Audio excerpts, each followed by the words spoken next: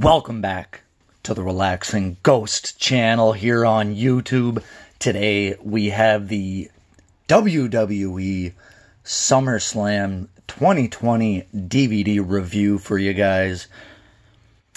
I've had this for about a week now and uh, finally getting around to doing the review.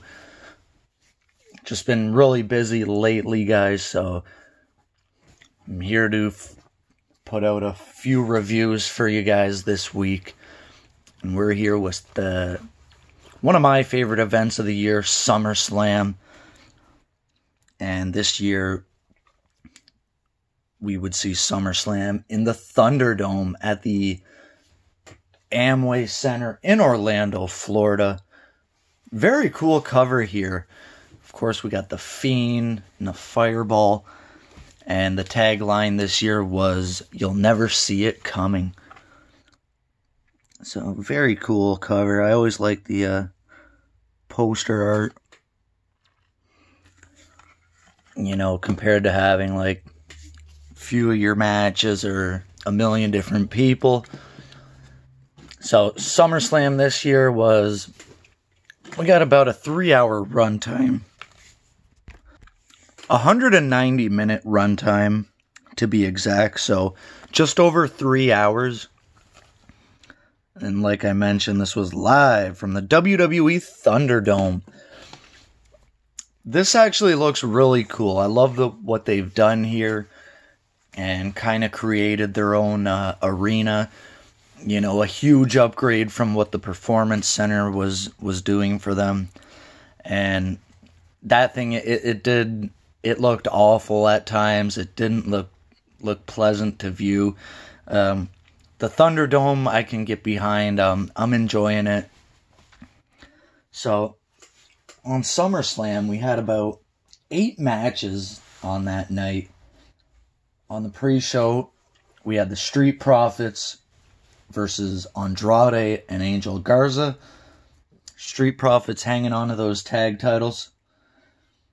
We had MVP versus Apollo Crews for the U.S. title.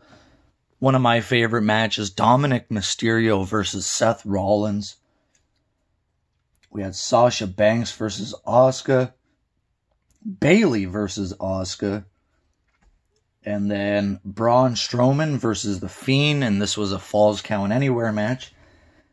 Mandy Rose versus Sonya Deville.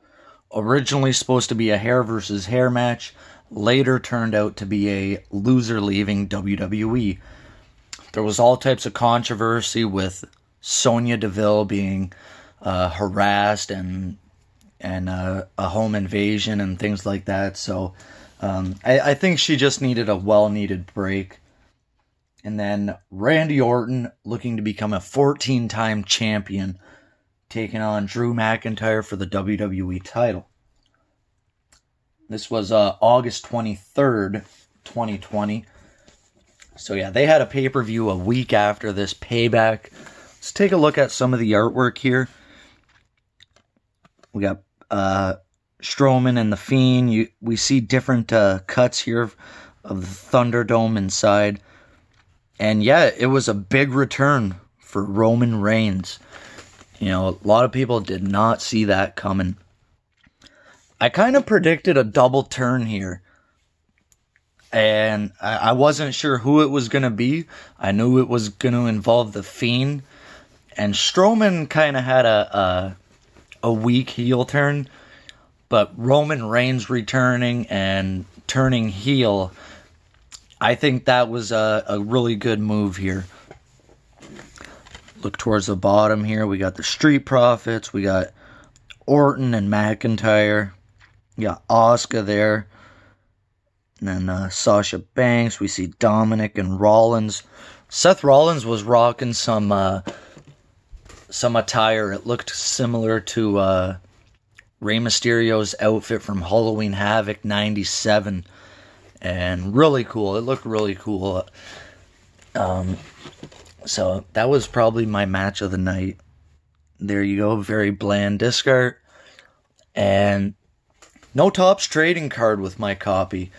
Not sure what it is, if, uh, you know, they're just not sending them out to Canada or what it was, but uh, the packaging on the outside said, uh, you know, Topps trading card included. Here we go, opening it up and nothing inside. So yeah, I'll still have yet to get one of those signature cards. Pretty cool spine again. You know, I, I hate seeing a million people on the spine. Got a nice yellow home video logo. I think they've done that before for a few Summer Slams. And then, of course, Sasha, Bayley, and Asuka. So, pretty cool overall. Nice event. And, uh, yeah, this was the first pay per view inside the Thunderdome. Of course, if you want, you could register. You could be part of the the live audience.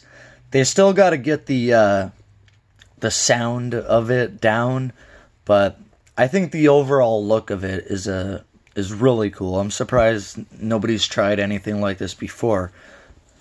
Of course, we weren't. Uh, we're used to seeing people, actual people in uh, attendance, but I think this is something that could uh, remain, you know, for quite some time. But it is rumored that this is only temporary, as WWE has leased the Amway Center for a month or two. So we'll see by time uh, Survivor Series kicks around.